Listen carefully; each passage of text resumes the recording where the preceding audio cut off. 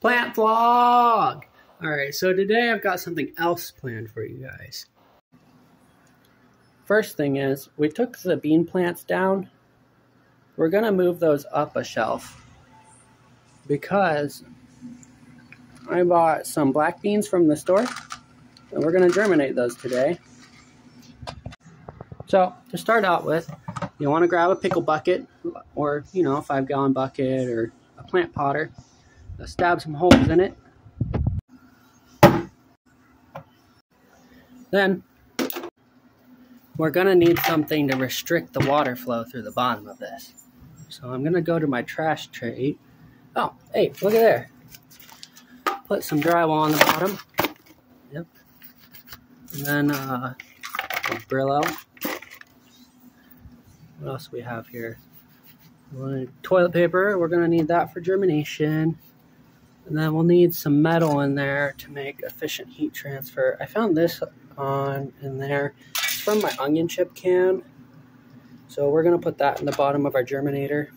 And then let's see, what else do we have here? Oh, we've got a knife. We might need that. And there's even gloves in there. I don't need those though. All right, so the next step, we're going to take this outside. And so I won't have to get on my suit.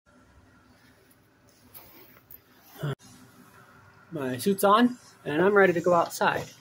Now, I just remembered we're to need a shovel, so let's go back to that trash crate. See what we can find in here for a shovel. Uh, if you're doing this outside, I definitely recommend gloves.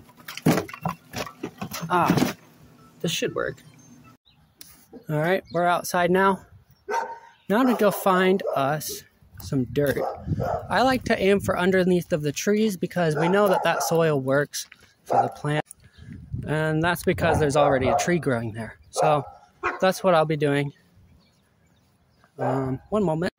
Ah, I found a spot. Ah, yes, underneath of this tree is some good dirt. So we're going to dig some of it up. Oh, yep. And uh, put it in our bucket. All right.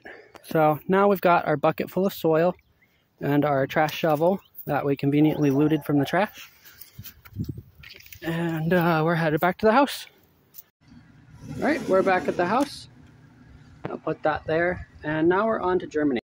So here we are at the sink. Step one, we're gonna add some warm, moist paper. It's gonna go in our container just like Step two, add a strip of metal. Three, cover the metal in paper and add the bean. Finally, add more wet paper and put a lid on.